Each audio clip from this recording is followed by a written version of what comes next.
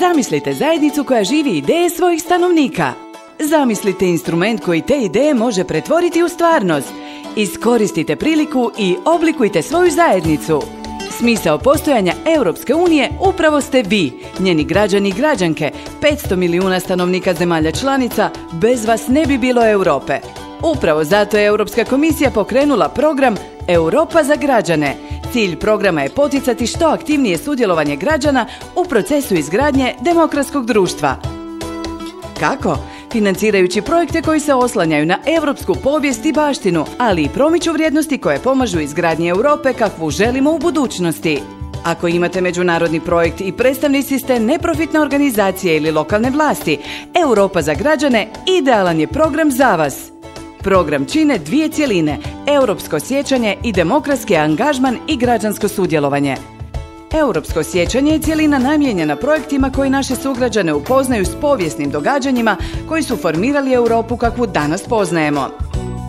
Specifične teme su Obilježavanje značajnih događanja u europskoj povijesti, civilno društvo pod totalitarnim režimima, demokratska tranzicija i pristupanje Europskoj uniji. Demokratski angažman i građansko sudjelovanje je cjelina koja je cilj poduprijeti one projekte koji potiču sudjelovanje svih građana u demokratskim procesima.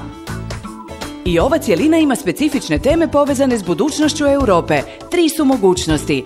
Prva je bratimljanje gradova u kojem najmanje dvije jedinice lokalne samouprave iz dvije različite europske zemlje izmjenjuju iskustva – Viši nivo povezivanja je umrežavanje gradova koje uključuje minimalno četiri jedinice lokalne samouprave iz četiri različite europske zemlje. I posljednja mogućnost se odnosi na projekte civilnog društva koji građanima osiguravaju prostor za promišljanje i raspravu o budućnosti Ujedinjene Europe. Ako imate partnere iz europskih zemalja i ideju koja može ostvariti utjecaj na EU razini, već ste na pola puta realizacije projekta. Prije svega, trebate se registrirati na portalu za korisnike i dobiti takozvani PIK broj. S PIK brojem možete pristupiti elektroničkoj aplikaciji. Imajte na umu da postoje dva roka za predaju projektnih prijedloga. Prvi ožujka za sve cijeline i mjere i prvi rujna samo za mjere bratimljenja i umrežavanja gradova. I ne zaboravite da tijekom cijelog procesa možete kontaktirati nacionalnu kontakt točku, odnosno Ured za udruge vlade Republike Hrvatske.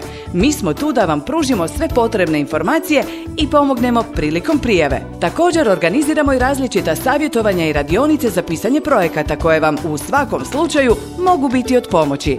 Možete nas kontaktirati putem telefona ili e-maila. Stojimo vam na raspolaganju. Europa, to ste vi!